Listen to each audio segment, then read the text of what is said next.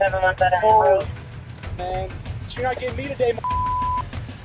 I don't want to die in this. Where there is wildfire, there is smoke. Wildfires are increasing in frequency and intensity, which means wildfire smoke exposure is also increasing in the frequency and severity of exposure. We've long known that tiny particles in wildfire smoke can damage your heart and your lungs. But particles you can't even see can enter your bloodstream through the lungs and cross the blood brain barrier. And once they're in your system and once they reach your brain, it can trigger systemic inflammation. This can lead to those adverse cognitive health outcomes. Stephanie Cleland researches wildfire smoke effects. For this study, she used a brain training game.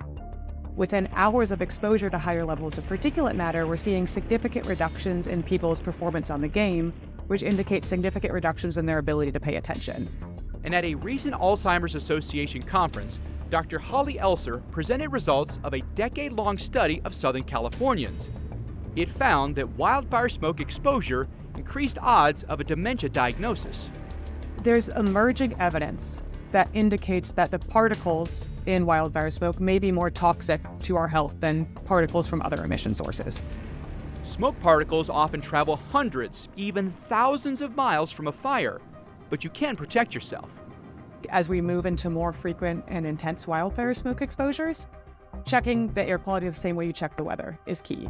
One of the best things you can do is not go outside, and ideally running a portable air cleaner, having some sort of air cleaning device to help pull the particles in the air out of your indoor environment, create this really safe indoor space. And if you need to go outside, especially if it's really smoky, wearing a well-fitted respirator like an N95 can be really good at reducing your exposure to those particles and smoke.